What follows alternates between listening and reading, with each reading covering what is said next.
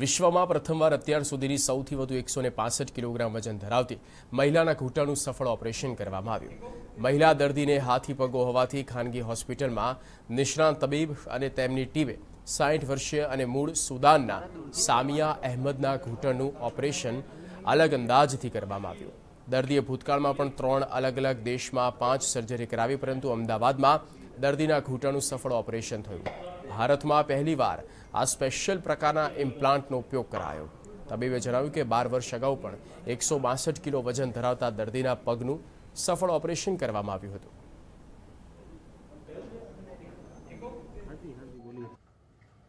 આ ઓપરેશનમાં મોટામાં મોટી ચેલેન્જ કરવાની હોય છે, કારણ કે આ દર્દીનો જે પગ હોય છે, એ પગ જ એક માણસ જેટલું વજન હોય.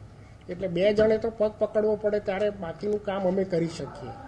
બીજું કે જે સાધનો હોય છે એ સાધનો એંસીથી સો કિલો સુધીના વજનના માટેના હોય છે, જે ડબલ વજન થાય, તો એને કઈ રીતે વાપરવા એ અનુભવથી જ કરી શકાય.